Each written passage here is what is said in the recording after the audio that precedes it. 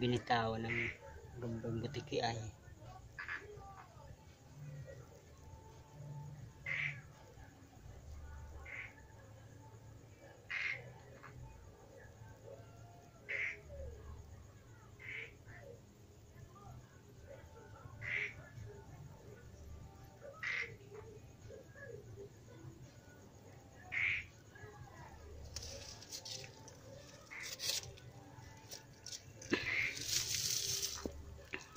kawawang butiki